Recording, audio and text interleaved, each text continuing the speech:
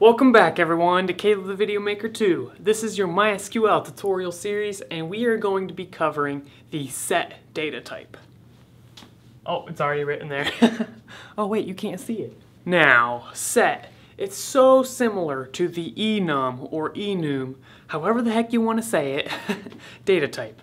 So, make sure you watch the video over enum. If you have enum figured out, figuring out set is a piece of pie. Looking back at enum, it allows you to pick one of many options. Set, on the other hand, allows you to pick many of many options.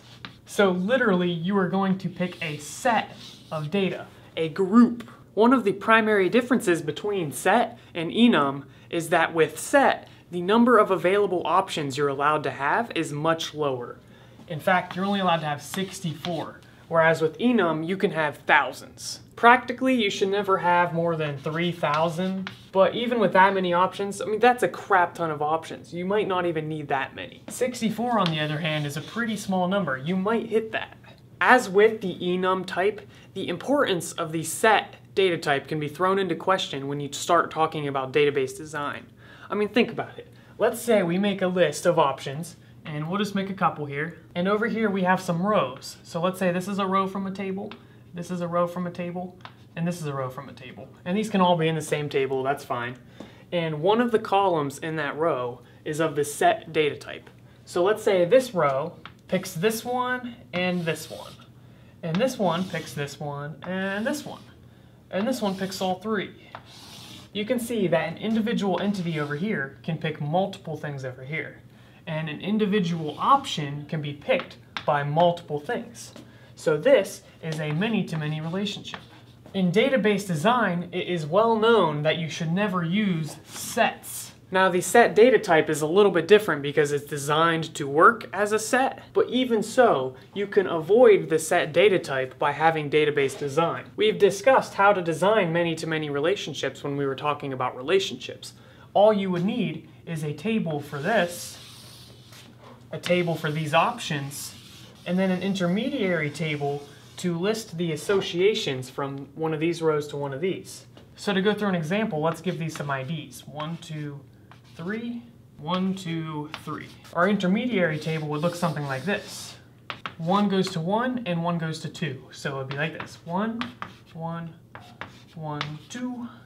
Two goes to one and two goes to three. So it'd have two to one, two to three, and then finally three to one, two, and three.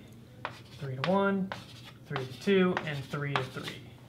You get the point. So the set data type is really not needed and a lot of people see it as a non-standard way of creating a database. That being said, I'm not a database expert. If you know there is a genuine reason to use the set data type, go for it. I won't tell anyone, except maybe your boss, and then I'll get you fired.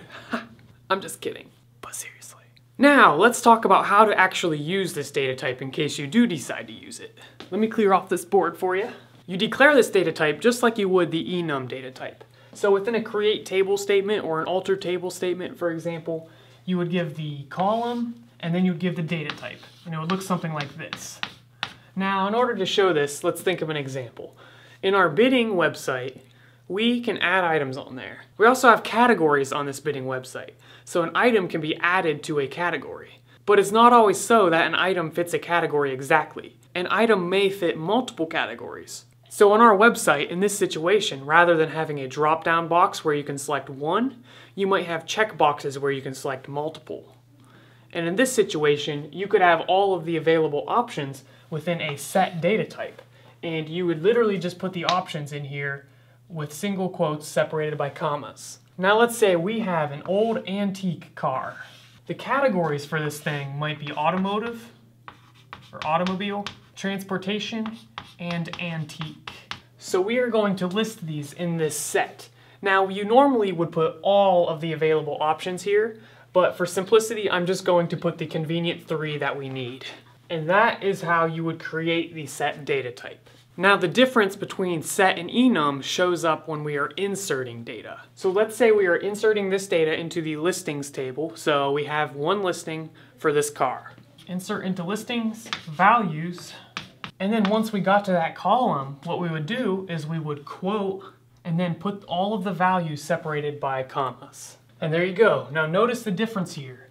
In this situation, we quote every single value. But for this situation, we quote the entire thing only one time and then separate each value by commas. Because of that, you don't want to use words that have commas in them because it's going to confuse MySQL. Now, if you were to add the same value in here twice, it would be ignored. And when you select this data back from the database, it's going to be organized in the order that it was declared. Additionally, something you need to be concerned about is what's known as a collation. And what this is, it has to do with character sets. It's how things are compared. And some of these are case sensitive. Some are case sensitive. if you're using a case sensitive collation for a column, you need to be careful when you're inserting data because if you put something lowercase when it's supposed to be uppercase, you're going to cause some problems. So yeah, everyone, that is your introduction to the set data type. Hopefully that was good for you and nice and helpful. If you've enjoyed this, be sure to click like, and in the next video, we'll be talking about something new. So, well, I guess not that new. We're still gonna be talking about data types, but we're going to be moving on to numeric data types. So thanks guys, I will see you then, and be sure to subscribe.